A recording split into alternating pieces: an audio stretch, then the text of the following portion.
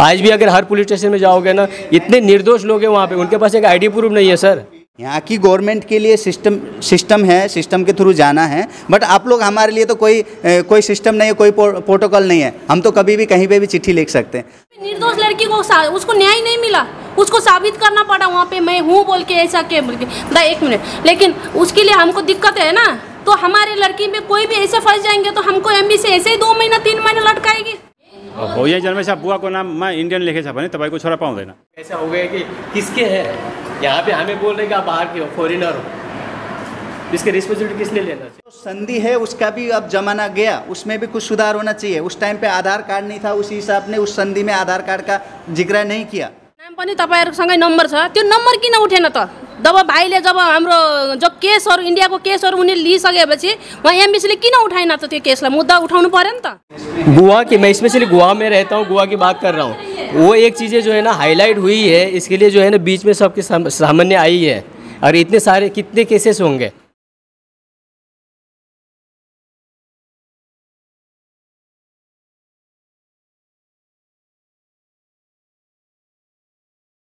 गोवा में रहने वाले भाई बहन लोगों का क्वेश्चन है देखिए दो चीज़ें हैं एक तो फॉरेन है एक तो फॉरेन है में हर जगह हम लोगों ने किया एक है। फॉरेन कंट्री है बट जो अठारह सौ जो संधि है। रिलेशन होगा। और किससे रिकवरी होगा? हमारे लिए। जो गोवा में रहते हैं। नहीं तो हमारा माँ है नहीं तो बाप है। हम लोग ऐसा हो गए कि किसके है? यहाँ पे हमें बोल रहे कि आप बाहर के हो फॉरेनर हो। इसके रिस्पॉन्सिबिलिटी किस लिए लेना चाहिए? संधि है, उसका भी अब जमाना गया, उसमें भी कुछ सुधार होना चाहिए। उस टाइम पे आधार कार्ड नहीं था, उसी हिसाब ने उस संधि में आधार कार्ड का ज़िक्र नहीं किया। आधार कार्ड आ गया तो आधार कार्ड आने के बाद कोई संधि नहीं है, इसलिए आधार कार्ड की समस्या है, क्या करना है, कैसे करना है। और सिम का भी नहीं है। उस टाइम पे तो चिट्ठियाँ चलती थी, सिम का है नहीं। जो हम लोग, आप लोग सिम का जो समस्या उठा रहे हैं, वही चीज़ है। तो उसको कुछ ना कुछ जो है government to government G to G उन, उस चीज़ को जो है मॉडिफाई करना पड़ेगा। जैसे जैसे ज़माना चेंज होता रहेगा, उन चीज़ों में भी थोड़ा बहुत जो है चेंजेस लाना पड़ेगा। उसके लिए आप लोगों का सजेशन बहुत बड़ा योगदान करेगा। जैसे अभी हम लोगों को आप बोल रहे हैं दो महीने लगा। लेकिन ऐसा क्यों लगा हमारे? हमको पैसा देते हमको क्यों लगा दो महीने? हम लोग दो महीने तक वो बेचारी वो निर्दोष थी। हॉस्पिटल वो जेल में निर्दोष आठ महीने रही है। दो महीने ये लेट होने के कारण एक लेटर के कारण आठ महीने निर्दोष लड़की जेल में कैसे रही वो? वो निर्दोष थी। फिर भी फिर भी निर्दोष लड़की को उसको न्याय नहीं मिला। उसको साबित करना पड़ा वहाँ पे मैं हूँ बोल के ऐसा के बोल के। दा एक मिनट। लेकिन उसके लिए हमको दिक्कत है ना? तो हमारे लड़की में कोई भी ऐसे फंस जाएँगे तो हमको एम से ऐसे ही दो महीना, तीन महीना लटकाएगी। रिपोर्टिंग हुआ, इसके लिए वो जो है ना हाईलाइट हुआ, ऐसे इश्यूज़ कितने हैं गोवा में? हाँ? गोवा की, मैं स्पेशली गोवा में रहता हूँ, गोवा की बात कर रहा हूँ। वो एक चीज़ें जो है ना हाईलाइट हुई है, इसके लिए जो है ना बीच में सबके साम- सामान्य आई है। और इतने सारे, कितने केसेस होंगे? आज भी अगर हर पुलिस स्टेशन में जाओगे ना, इतने निर्दोष लोग हैं वहाँ पे, उनके पास एक आईडी प्रूफ नहीं है, सर। पढ़े लिखे हैं, जानकार हैं और इतना अपने आप को बात उठा सकते हैं। सोशलॉजी आप बात उठा सकते हैं, सामाजिक तरीके से आप बात उठा उठा सकते हैं। तो इसके लिए आपको जो है, आपके पास इन्फॉर्मेशन है तो आप डायरेक्ट आप एम्बेसी में मेल कर सकते हैं या चिट्ठी भी लिख सकते हैं। हम जो नेपाली कम्युनिटी है, वो डायरेक्ट एम्बेसी को अप्रोच कर सकती है। यहाँ की गवर्नमेंट के लिए सिस्टम सिस्टम है, सिस्टम के थ्रू जाना है, बट आप लोग हमारे लिए तो कोई कोई सिस्टम नहीं है कोई प्रोटोकॉल नहीं है। हम तो कभी भी कहीं पे भी चिट्ठी लिख सकते हैं। तो हमें मेरे को लगता है बाकी सर भी बताएँगे मेरे को लगता है जैसे आप लोग इतने समझदार हैं जो बातें को उठा सकते हैं और अ, होता है ना वायलेंस के अगेंस्ट आप लोग लड़ सकते हो तो आप लोग लिख सकते हैं चिट्ठी वगैरह या मेल वगैरह कर सकते हैं मुझे लगता है। भनेर। एकजना हाम्रै भाइले मेसेज गरेको होइन उहाँले थाहा छ। उहाँको नाम पनि तपाईँहरूसँगै नम्बर छ। त्यो नम्बर किन उठेन त? जब भाइले जब हाम्रो जो केसहरू इन्डियाको केसहरू उनीहरूले लिइसकेपछि उहाँ एमबिसीले किन उठाएन त त्यो केसलाई? मुद्दा उठाउनु पऱ्यो नि त। किन नउठाएको त मुद्दा? यहाँ हाम्रो भाइले जब तपाईँले एमबिसीलाई फोन गरिसकेपछि उहाँले एक्सक्युज दिनुभयो। उहाँ रिटर्न पनि कल आएन केही पनि गरेन भनेर उहाँ हाम्रो भाइले भन्नुहोस् उहाँको आन्सर उहाँले दिनुहुन्छ अझै। भन्नुहोस्।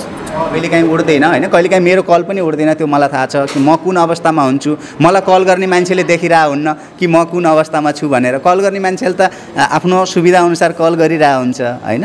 त्यो कुराहरूलाई सरहरूले अवश्य पनि नलेजमा लिनुहुनेछ। तर हाम्रो दायित्व अथवा हामी नाग हम जो नागरिक हैं हमारी एक रिस्पॉन्सिबिलिटी है कि गवर्नमेंट को हम सहयोग करें और गवर्नमेंट हमें सहयोग करे। दोनों तरफ़ से। सरकार हमें सहयोग करे और सरकार को हम सहयोग करें। दोनों की सहयोग का आवश्यकता है। उसके लिए आप आप लोग इस चीज़ में आप आ, थोड़ा खुश हो जाना चाहिए कि कम से कम इतने सालों में एम्बेसी के कोई प्रतिनिधि आके आपके आपके सामने साक्षात्कार बात कर रहे हैं और आपकी बात सुन रहे हैं। और हो सकता है आने वाले टाइम पे आने वाले टाइम पे इस चीज़ को और मज़बूत कैसे करें और इसको और सुधार कैसे करें।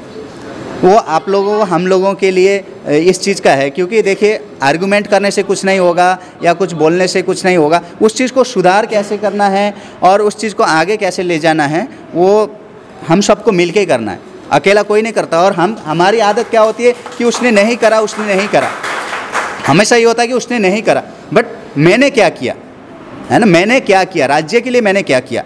और सोसाइटी के लिए मैंने क्या किया? उस चीज़ को आपको देखना है, मेरे को भी देखना है, सभी को देखना है और डायरेक्ट कभी भी आपका किसी का फ़ोन ना उठे तो एक दूसरे से हम जुड़े रहेंगे और एक दूसरे से हम जुड़े रहेंगे, जो भी समस्याएँ हैं, देखो, एम्बेसी से कोई एम्बेसडर सर या डिप्लोमेट ऑफिसर, उनको फ़ील्ड में जाके तो काम नहीं कर सकते हैं। उनको जो मिलाना है गवर्नमेंट के साथ लाइजन करवाना है और आप लोगों को, हम लोगों को सहयोग करना है, वो कर सकते हैं मुझे लगता है। उसके लिए ज़रूर करेंगे क्योंकि आप लोग जुड़िए, हम लोग भी जुड़े हैं, आप लोग भी जुड़िए और साथ में सोसाइटी के लिए और जो समस्याएँ आ रही हैं, उसके लिए समाधान कैसे कर सकते हैं? हम हम आरोप लगा के नहीं समाधान कर सकते कभी भी किसी भी चीज़ को। तो हम कैसे समाधान कर सकते हैं? उसके लिए आप लोगों से मिले हैं और मुलाकात करते रहेंगे। और आजकल तो इतने सिस्टम है, फ़ोन से व्हाट्सअप से मैसेज कर दिया, फ़ोन नहीं उठा तो मैसेज कर दिया, फ्री होके कॉल आ गया या कोई मेल लिख दिया, कुछ भी कर तो इस चीज़ के लिए हम लोग, आप लोग जो है साथ जुड़ के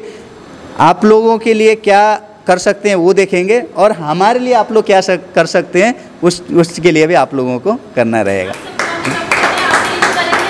श्योर श्योर सेम टाइममा दुई ठाउँमा भोटिङ दिनु पाएन कि? पहिले यहाँको त्याग गर्नु पऱ्यो नेपालको लिनु पऱ्यो नेपालको त्याग गर्नु पऱ्यो यहाँको लिनु पऱ्यो के हजुर। के अब मेरो यहाँ जो पनि हो। मेरो छोराहरूलाई मेरो त उहाँको बिहा भएको छैन मेरो बिहा भएको छ इन्डियामा। अब म नेपालमा गएर मेरो आमा बुवाबाट मैले नागरिकता दिनुपर्छ मेरो बच्चालाई त मैले कसरी दिने सर? तपाईँ नेपाली नागरिकता पाउनुहुन्छ। तपाईँ नपाउने भने यदि पहिला लिनुभएछ भने पाउनुहुन्छ। है? अनि बुवा बुवा बुवा तपाईँ बिहे अन्त बुवा बाजे त्यहाँ होला नि शनाखत गऱ्यो भने पाउन सकिन्छ त्यो। हो अब तपाईँको छोराले चाहिँ पाउँदैन यदि तपाईँको छोरा यहीँ जन्मेछ भने हो यहीँ जन्मेछ बुवाको नाममा इन्डियन लेखेछ भने तपाईँको छोरा पाउँदैन तपाईँको नागरिकता चाहिँ बन्छ फेरि अब बच्चाको लागि यहीँ यहीँ लोग्ने लोग्नेकै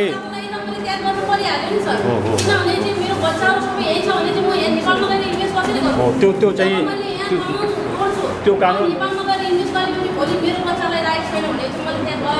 त्यो चाहिँ अब त्यो अहिले त्यस्ता किसिमको कुराहरू जम्मा हुँदै गएपछि राज्यले पनि नीति लिन्छ अहिले तत्कालको लागि तत्कालको लागि त तत्कालको तत्कालको लागि त्यो कानुन नभएको कारणले गर्दा त्यसको बारेमा केही बोल्नु मिल्दैन मैडम। अब